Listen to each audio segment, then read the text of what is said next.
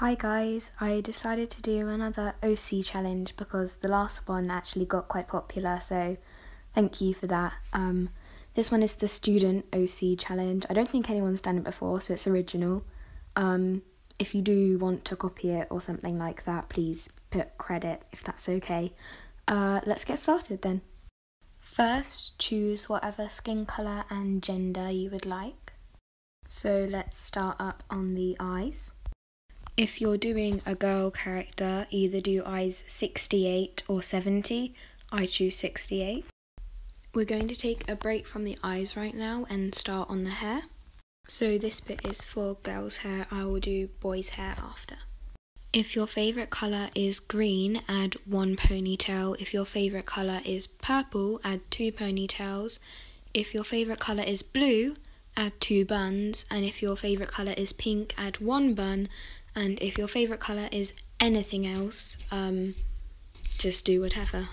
For the boys' hair now, if your favourite colour is orange, do like really scruffy hair.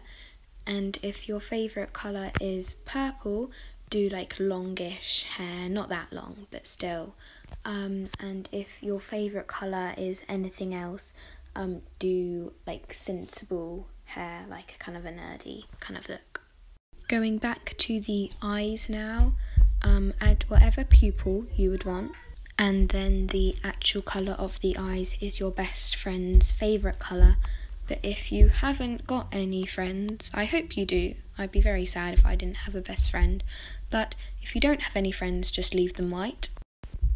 Hair colour now. If you're a nerd in real life, add ginger hair.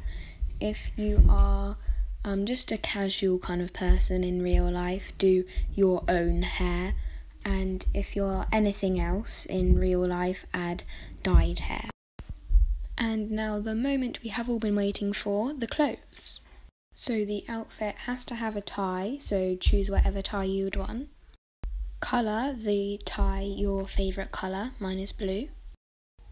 And now basically add whatever clothes you want behind the tie. It could be an American school where you wear whatever you want, that's what I'm doing. Or um, UK school or any, anywhere else where you have to have a school uniform. I choose American. Now, if you are older than 10, add loads of accessories on the hair.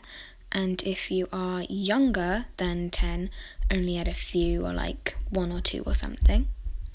Now for the finishing touches, just add a nose and a mouth. And I literally just realised mine looks like a Sabrina glow up. I promise I didn't do that on purpose. Um, anyway, I hope you enjoyed the video. I would love to see what you have created.